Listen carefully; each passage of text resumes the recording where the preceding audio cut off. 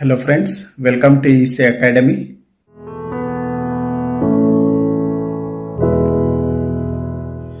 In this lecture, let us understand biasing by drain to gate feedback using MOSFET. It is also known as feedback biasing using MOSFET.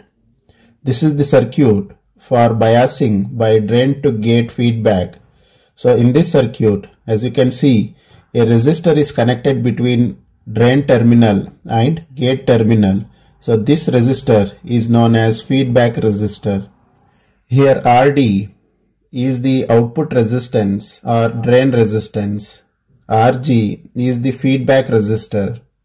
Here ID is the current flowing through the drain terminal. Since Ig is equal to 0, the same current will flow through this branch as you can see here. VGS is the gate to source voltage. VDS is the drain to source voltage. VDD is the power supply. Here VGS will be the input voltage and VDS will be the output voltage. Now let us consider the input side and let us apply KVL to the input side. So if we say input side, it will be from VDD, RD, RG, VGS towards ground.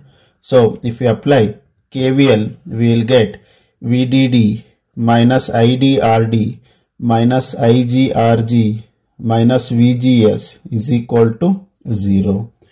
So it will be VDD minus IDRD minus IGRG minus VGS is equal to 0. Since Ig is equal to 0, this term will become 0. So we can write the above expression as VDD minus IDRD minus VGS is equal to 0. So from this we can find the expression for input voltage which is VGS. VGS is equal to VDD minus IDRD. Now let us consider the output side and let us apply KVL. If you apply KVL to the output side, we will get VDD minus IDRD minus VDS is equal to 0.